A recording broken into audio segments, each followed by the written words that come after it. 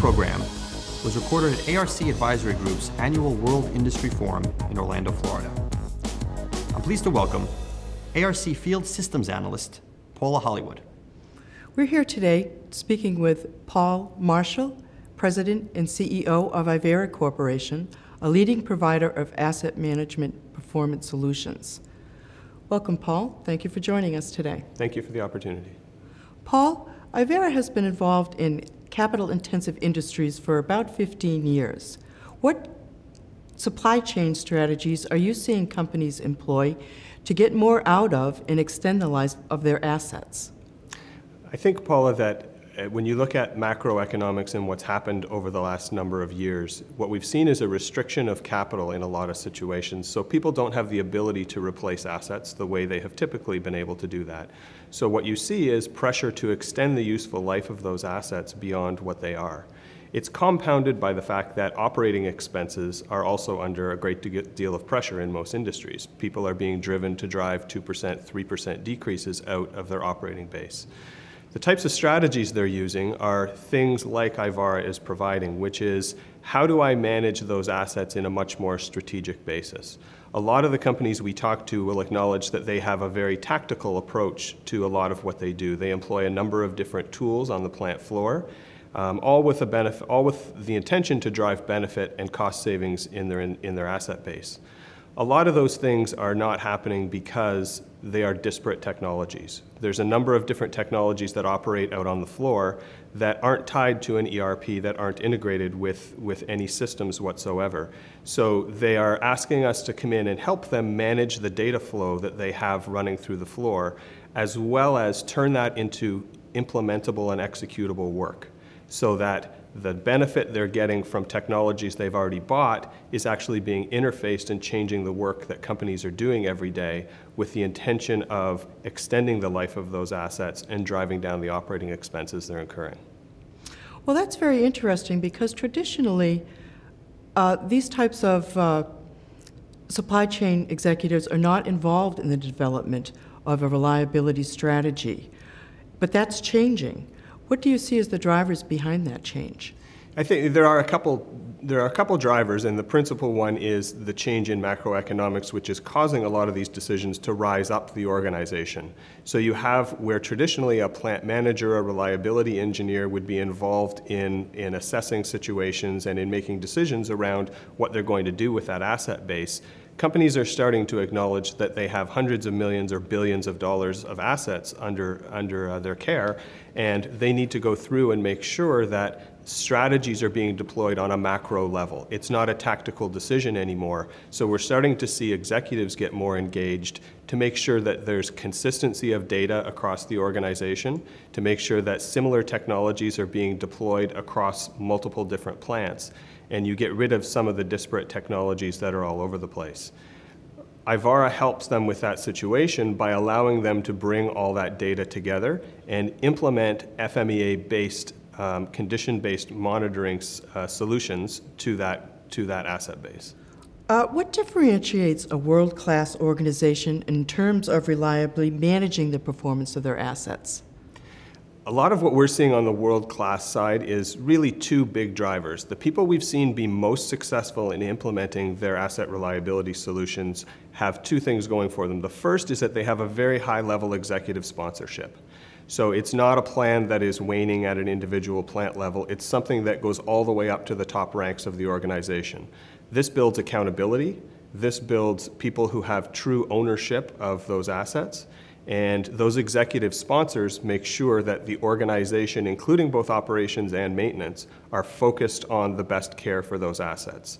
So first thing we see in best in class is that you have high level executive sponsorship and commitment that is tied to the success of that program. The second thing, which is kind of a bit of a, um, a contradiction to what you typically hear, which is most of the best in class companies actually implement their solutions faster rather than slower.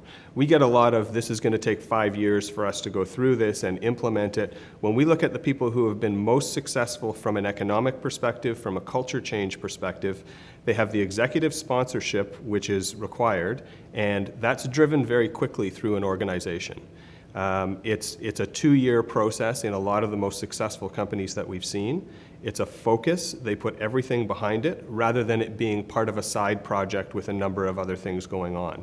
They truly view it as a strategic initiative and they look at the implementation of solutions like Ivara as something that they have to do and they have to do quickly and they have to get everybody on board with. So those are probably the two biggest factors we see in best in class. I'd have to agree with you. ARC research supports that position that corporate leadership is essential to success. Yes. Uh, monitoring all of the assets in a plant generates enormous amounts of data. How does one manage such all that data such that it's usable and actionable? Yeah, it, it's a, that's growing. You know, as as time goes on and as people start to get more sophisticated about what they're looking at, they're starting to acknowledge that data is a real problem. For Ivara EXP, we sit between the plant floor and whatever ERP you might be running. And a lot of what we're doing is helping people, whether it's, um, whether it's OSI data, any kind of data that they have running on the plant floor, we help pull into the software and then help integrate that with whatever ERP they're running. Again, having all these disparate technologies like thermography and oil analysis and vibration analysis may be the very best technologies in the world, and they may be able to drive significant benefit. But if they're not integrated with an ERP, they're not changing the work that's being done on the floor every day. And so that's where you get the execution failure, is that an executive will get very frustrated because they've spent all kinds of time and all kinds of money with all kinds of technologies on the floor and they're not seeing the benefits of it. And so we come in and help them pull all that together into an actual asset strategy so that they understand what the role of those technologies are what benefit they're supposed to get from them, why they're even collecting that data. In a lot of cases, we find people are collecting data that, that doesn't really tie to an actionable item per se. So we help them understand how their assets are going to fail and what data is required in order to properly predict that failure of the equipment so that we get the work onto work orders and we get preventative work done by the field ahead of those failures actually happening. Paul, Ivara has been very instrumental in helping Scottish Power achieve the British publicly available specification 55 for asset performance management. Can you share with us how Ivara helped Scottish Power achieve that certification?